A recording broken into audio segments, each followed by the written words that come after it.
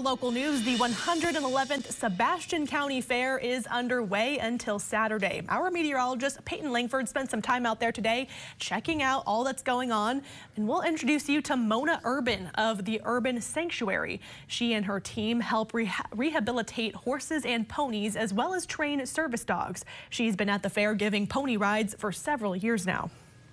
We take in emaciated horses. I've had some that I've helped with the Sheriff's Department in the local area. Also, some with um, joint um, organizations in Sequoyah County as well and have helped them and find homes and, um, like I said, work with kids and around horses, ponies, lessons, anything to help kind of support it.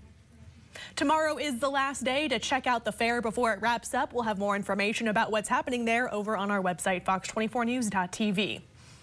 Bull riding, live music, and a stunt show with extreme athletes are just some of the things you can enjoy this year at the Arkansas-Oklahoma State Fair.